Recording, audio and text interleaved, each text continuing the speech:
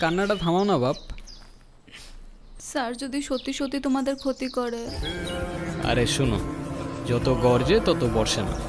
আচ্ছা by the way তুমি আমার কেয়ার করতেছো কেন? কি আর কই করব? আমি তো জাস্ট জিজ্ঞেস করলাম। আচ্ছা তুমি কি জানি বলবা বলছিলাম থাক কোনো দরকার নেই। আবার কতদিনের জন্য গায়েব হয়ে যাবা কে জানে? এখনও দরকার নাই।